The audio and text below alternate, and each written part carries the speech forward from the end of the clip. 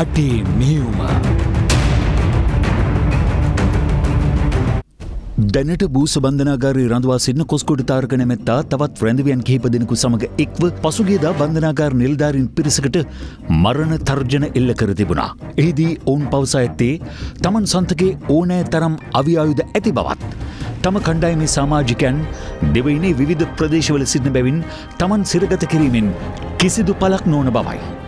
බන්ධනාගර කොම්සාරිස් ජෙනරල්වරයාද එවැනි කණ්ඩෑම් යුදාගනමින් ඝාතනය කරන බවත් කොස්කොඩ තාරක ඇතුළු පිරිස එහිදී පවසා තිබෙනවා. ඊට අමතරව ජනාධිපතිවරයා සහ ආරක්ෂක ලේකම්වරයාද තමන්ට එතරම් වැදගත් පුද්ගලින් නොන බවත් බන්ධනාගාරගතව පසුවන කොස්කොඩ තාරක ඇතුළු කණ්ඩායම බන්ධනාගාර නිල්ධාරින් හට පවසා ඇති බවයි වාර්තාවන්නේ. එම තර්ජනාත්මක ප්‍රකාශය සම්බන්ධින් මේ වන විට අපරාධ පරීක්ෂණ දෙපාර්තුමේන්තුව මෙන්ම බන්ධනාගාර දෙපාර්තුමේන්තුවද විමර්ශනයක් ආරම්භ කර තිබෙනවා. දකුණු පලාතේ ප්‍රබල පාතාල කල්ලි සාමාජිකයෙකු ලෙස් සැලකෙන කොස්කොඩ තාරක නැමැත්තා පසුගිය වසරේ මාතර ස්වර්ණාභරණ කොල්ලෙන් පසුව අත්තරංගුවට ගැනීමට කටයුතු කළා. කොළඹ රිමාන් බන්ධනාගාරයේ රඳවා සිටි ඔහු පසුගේදා බූස බන්ධනාගාරය වෙත මාරු කර යවුණා. දකුණු පලාත කේන්ද්‍ර කරගන්මින් විවිධ පාතාල ක්‍රියාකාරින් කටයුතු කරන අතර ඔවුන් අත්තරංගුවට ගැනීමේ විශේෂ මෙහිුම් මේ වන විටත් ක්‍රියාත්මකයි. පොලිස් විශේෂකාරය බලකා අනද නිලධාරී වරුණ ජයසුන්දර මහතාගේ උපදෙස් පරිදි සංවිධානාත්මක අපරාධ මර්ධන ඒකකය අද පෙරවරුවේ එහි එක් අධීරක් ලෙස ඇල්පිටිය ගනයගොඩ මාහේන ප්‍රදේශයේ නිවසක් වටලා තිබෙනවා. එම නිවසේ වලදමා තිබූ ගිනි අවි දෙකක් ටී පනසය වර්ගේ උන්ඩ විසිතුනක් ජීව අත්බෝම්භයක් කඩුතුනක් ඇතුළ ආයුධ කිහිපයක් එහිදී සොයාගත්තා. හිටපු යුදහමුදා සෙබලෙකු විසිනව හැවරදි අමිල රංගන නොහොත් සුදුවමිල නැමැත් තාත්තරංගුවට ගත් අතර ඔහු අටේ කල්ලි නායකයා ලෙසින්ද හඳුන්වන බවයි විශේෂකාර බලකා නිලධහරින් සඳහන් කළේ. ඔහු ඇතුළු කණ්ඩෑමක් තවත් පාතාල කල්ලි කණ්ඩායමකට ප්‍රහාරයක් එල්ල කිරීමට සැල්සුම් කර ඇති බවට අනාවරණය වී තිබෙනවා. මේ අතර පොලිස් විශේෂකාර්ය බලකා තංගල්ල කඳුරේ නිලධාරින්ද ඊ වලස්මුල්ල බෝවල දකුණ ප්‍රදේශයේ නිවසක් පරික්ෂා කළා. එම නිවසේ අල්මාරයක් යට තනා තිබූ බංකරයක තිබී මෙම ආයුධ ඇතුළු උපකරණ සොයාගැනීමටයි හැකිවුණේ.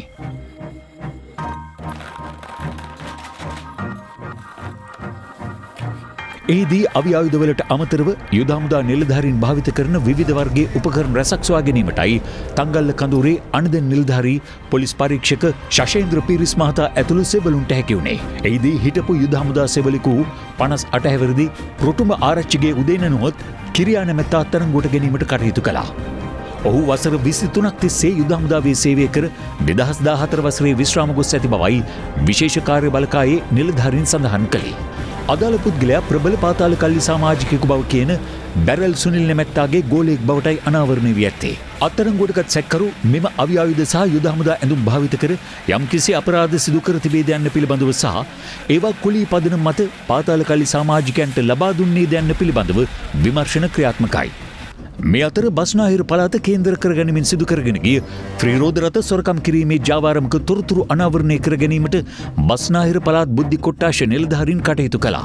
එම ජාවාරමට සම්බන්ධ සැකකරුවන් කිහිප දෙනෙකුද අත්තරංගොට ගැනීමට එම විශේෂ පොලිස් කණ්ඩෑමට හැකියාව ලැබී තිබෙනවා. ජේෂ්ඨ නියෝජ්‍ය පොලිස්පති දේශබන්ධු තෙන්නකොන් මහතාගේ අධීක්ෂණය යටතේ කොළඹ විරලබඩ පොලිසියට අනුයුක්තව සේවය කරන බුද්ධි නිලධහරින් සොරකම් කරන ලද ත්‍රීරෝධරත දහයක් දෙසේ භාරයට ගැනීමටයි කටයුතු කර ඇත්තේ. ජාවාරමට සම්බන්ධ බවගෙන පුද්ගලින් හය දෙනෙකු දාත්තරංගොට ගැනීමට එම නිලධාරීන්ට හැකි වුණා. එවැනි සොරකම් රැසක් සම්බන්ධයෙන් තොරතුරු ලැබී ඇති අතර යම් පුද්ගලෙකුගේ ත්‍රීරෝධරතයක් සොරකම් කර ඇත්නම් බිඳුවයි එකයි එකයි දෙකයි හාරසේතිස් හතරයි පන්සිය අනු පහ යන දුරකතරංකය ඔස්සේ තොරතුරු ලබාදිය හැකි බවයි පොලිසිය සඳහන් කළේ. අටේ මෙ